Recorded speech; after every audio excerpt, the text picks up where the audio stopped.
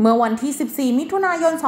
2566 นายพิธาลิ้มเจริญรัตหัวหน้าพักก้าวไกล และว่าที่นายกรัฐมนตรี พร้อมคณะไปกราบไหว้สักการะที่ลานเจ้าแม่จามเทวี ที่วัดพระธาตุหาริปุญชัยวรมหาวิหารอำเภอเมืองจังหวัดลำพูน ทั้งนี้มีคุณป้าขายลอตเตอรี่พูดกับนายพิธาให้ได้ยินว่า คุณพิธาช่วยซื้อหน่อย แน่นอนว่านายพิธาจัดให้พร้อมชี้ไปที่ลอตเตอรี่ใบนี้ทำเอาป้าคนขายดีใจมากๆนอกจากนี้นายพิธายังได้เอ่ยปากชวนคุณป้าขายลอตเตอรี่ว่า แม่มาถ่ายด้วยกันเพื่อถูก โดยพบว่าเลขเด็ดที่นายพิธาซื้อคือเลข